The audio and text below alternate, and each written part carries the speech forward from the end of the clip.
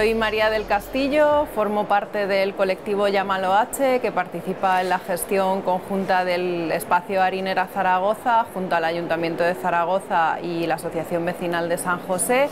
Participo también en un colectivo y radio y programa de radio llamado Sangre Fucsia y en general, pues últimamente, unos años hasta esta parte, me he ido integrando en colectivos de centros sociales, culturales, iniciativas culturales ciudadanas de, pues bueno, de corte más bien underground y muchas veces eh, con corte también explícitamente feminista.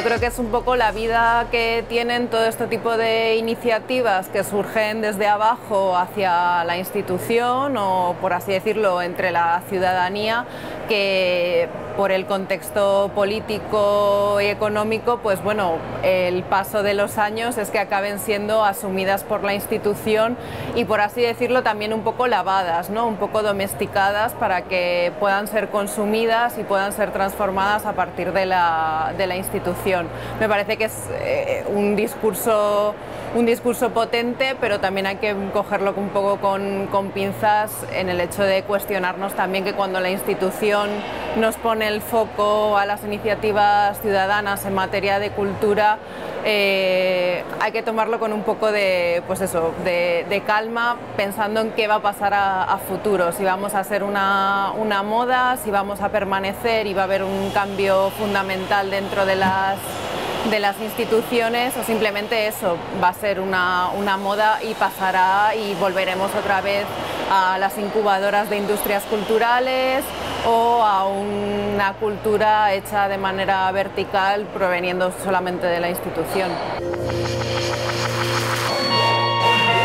Ahora mismo vivimos un, momento de mm, inestabilidad en el sentido de que no hay una política clara cultural que mm, genere un marco en el que tú si quieres hacer un centro ocupado sepas que no te, van a, no te vayan a desalojar o venga la institución por lo menos para apoyarte en la negociación.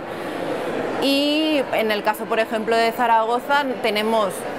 tres espacios que eh, forman parte de iniciativas ciudadanas en materia de cultura que tienen una, una, forma de estar en la ciudad muy diferente y que todavía están peleando con la institución, sino qué podemos hacer con este, con este espacio. El Centro Sociocultural de Luis Buñuel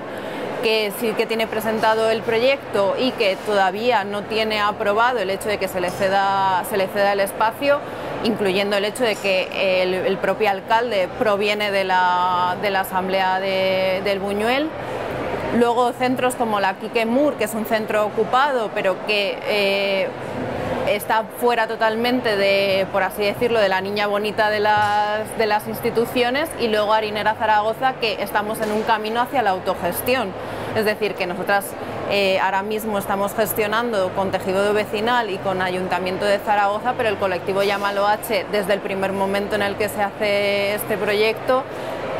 camina hacia la autogestión. No podemos ponerle fecha, pero la idea es un poco independizarnos de la, de la institución.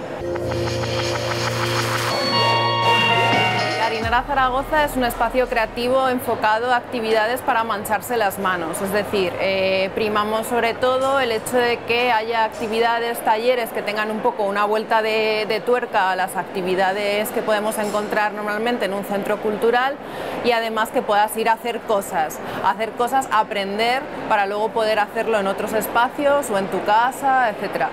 También tenemos más formatos de conferencias, encuentros, pero sobre todo primamos, primamos los talleres, con la idea de que sean actividades un poco más novedosas al resto de oferta cultural, con la idea de también respetar el ecosistema cultural de la ciudad eh, no programando doble de otras actividades que ya se están desarrollando en otros centros culturales.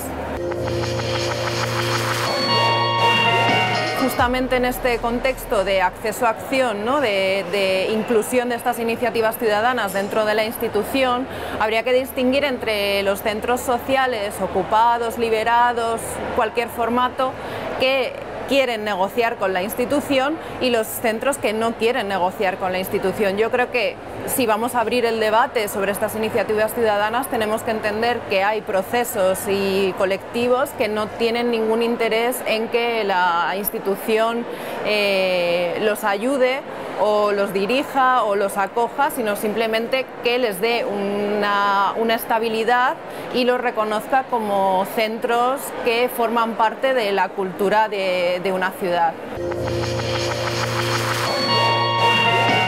Venimos de mucho, de mucho tiempo y somos una democracia muy joven